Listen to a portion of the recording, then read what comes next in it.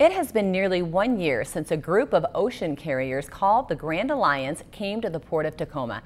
Megan Hutton looks at their impact on container business and how the port is diversifying its cargo.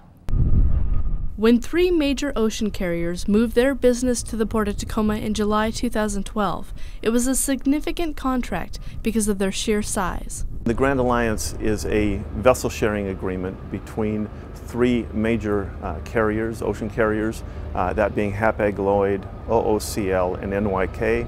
There are also a couple of other associated carriers, uh, Zimline and Hamburg Sud as well.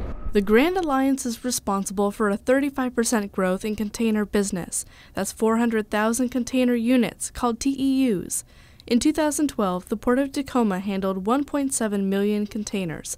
Within the next few years, they are on track to reach 2.1 million, the record set back in 2006.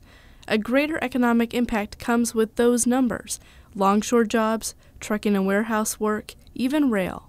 The local union, uh, ILWU, uh, has grown maybe by close to 200 new positions within that union. Uh, Tacoma Rail has grown like 20% uh, since the arrival.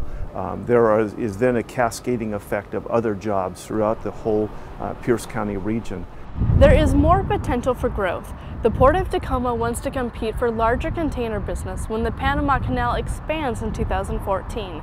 Work is underway on Piers 3 and 4 to accommodate larger ships.